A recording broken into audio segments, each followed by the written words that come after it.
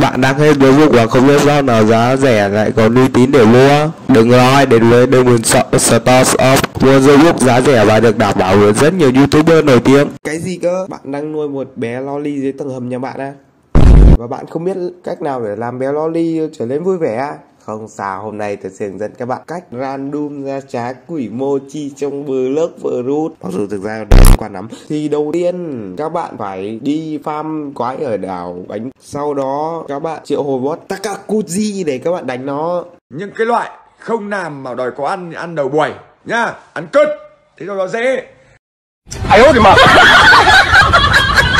Ba thương con thì con giống mẹ mày Úi nhầm sorry để đổi câu khác Cá không ăn muối cá ương con cãi cha mẹ mày bèo. Sau khi đánh xong bot Takakuji Thì các bạn đi về đảo kia và các bạn sẽ ấn mua trái mochi 5 lần bằng Robux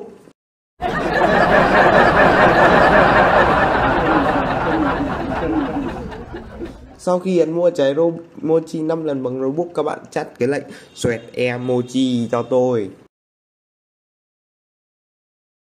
Tiếp theo là các bạn nhập code NTNTN vào.